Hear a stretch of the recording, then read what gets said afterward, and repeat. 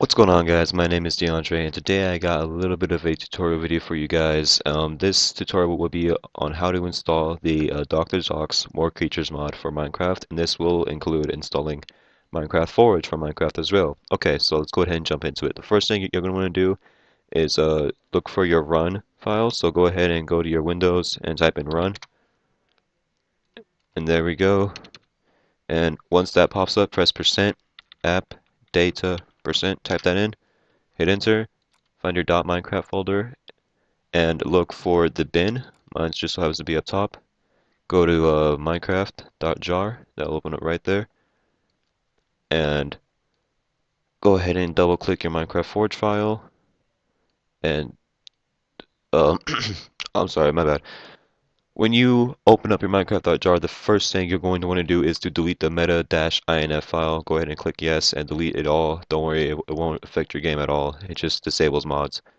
So go ahead and drop everything from the Minecraft Forge file into the Minecraft.jar file. Let it copy, press OK. Just drag and drop, highlight everything, drag and drop, and you should be good in that. So when that's done, you're just going to want to go ahead and launch Minecraft. Now you have to launch Minecraft so it could uh, get all the stuff it needs, create all the folders and whatnot.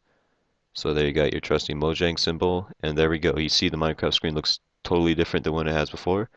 So go ahead and exit out Minecraft. And now, to in install the Dr. Zhark's mod, go ahead and go to that and go to that run file again, percent app data percent dot Minecraft, and go to your core mods folder that should have been created. Go to core mods core mods and see what it says uh, GUI API. Drag that file into core mods and you're done with that. You can back out.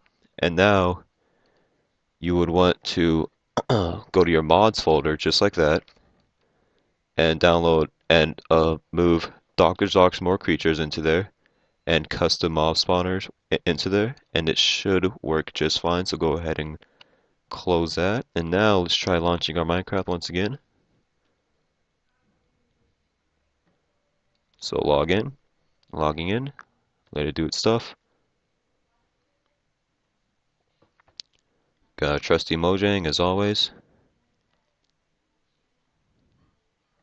And before I launch game, I'm going to go ahead and, and move, move into actually recording Minecraft, so I will be, be right back.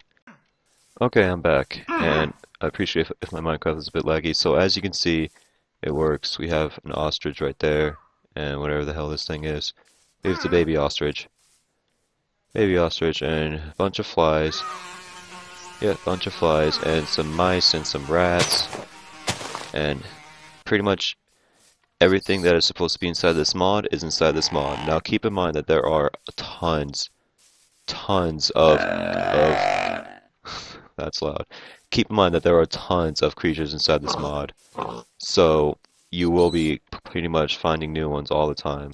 That's Already, that's one thing I haven't seen before is a panda bear. Seen you before. Attention whore. So yeah, there we go. Got a goat. Got baby goats. Normal, good old Minecraft cows. Bunch of crickets and uh, that's annoying. Bunch of crickets and grasshoppers. So yeah, um, that was how to install the Minecraft, the Minecraft More Creatures mod. If you guys enjoyed this video, please click that like button below. And if you really enjoyed it and want to see more tutorials, click that subscribe button below as well. As always guys, my name is DeAndre and I will see you guys later. Bye bye.